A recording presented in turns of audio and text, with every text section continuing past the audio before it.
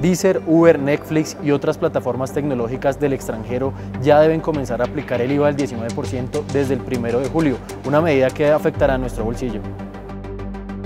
Es importante tener en cuenta que esta medida hace parte de la reforma tributaria del 2016.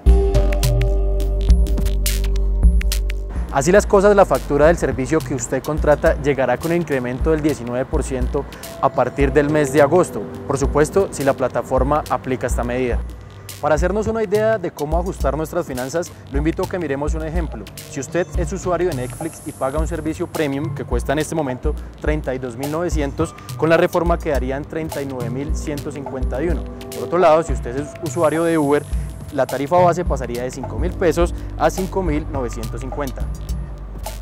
La pregunta entonces es cómo estas plataformas van a recaudar el pago. El principal paso que deben dar es inscribirse en el RUT y para ello el gobierno tiene en sus manos un decreto que todavía no ha sido aprobado y que está disponible para los comentarios de los interesados, es que esta inscripción se puede hacer en internet.